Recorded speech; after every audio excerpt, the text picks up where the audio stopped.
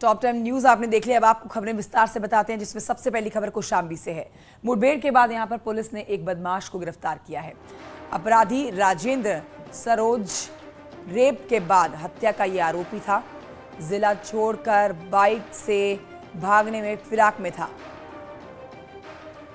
तो बाइक से भागने की फिराक में ये अपराधी पुलिस और एसओजी की टीम ने घेराबंदी करके इसको पकड़ने की कोशिश की। जिस पर बदमाश ने पुलिस पर तमंचे से फायर कर दिया और पुलिस की जवाबी कार्रवाई में अपराधी के पैर में जागोली लगी।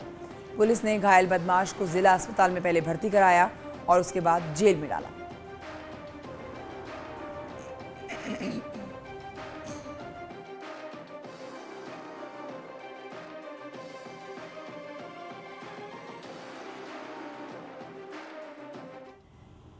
कौशाम्बी के बाद खबर लखीमपुर खीरी से, जहाँ पर पुलिस ने कुख्यात गोकश गैंगस्टर अज़ीज़ की 25 लाख रुपए की संपत्ति को जब्त किया है।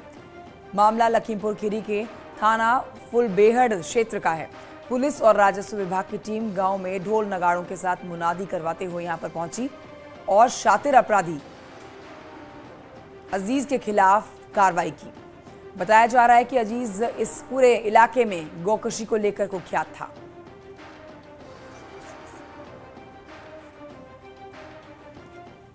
तो बिजनौर में अवैध निर्माण पर बुलडोजर चला है। आपको बताएँ कि आरोपों के